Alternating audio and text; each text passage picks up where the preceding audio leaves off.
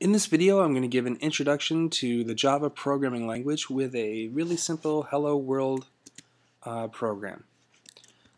So let me specify the file, helloworld.java, in which I'm going to hold the source code.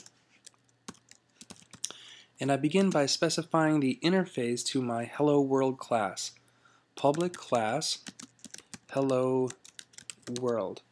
And right away, it's critically important that the name of your class, Hello World, coincide exactly with the name of your file. So you'll notice that I spelled Hello World with a capital H and a capital W, dot .java. Your, the name of your class should be every, uh, the, the name of your file except for the dot .java.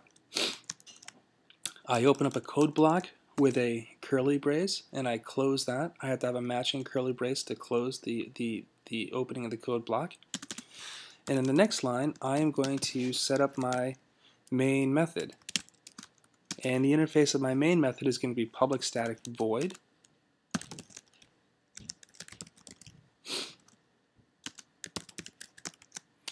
And it doesn't, it for our purpose right now, it's not really critical that you understand what public or static or void means for that matter.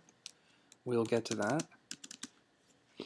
And now it's time to print out my message hello world. And so in order to do that, I use the system.out object with the associated print line method to write hello world.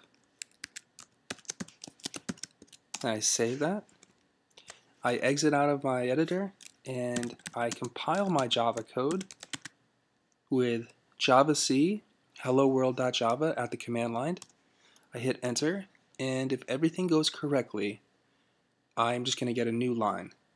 No congratulations, no success, anything. It's just just a new line. In fact, the only time you get a message is when something goes wrong.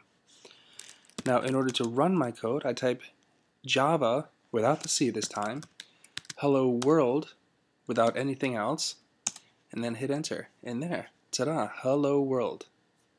So this is a very brief, very simple introduction to Java with a hello world program.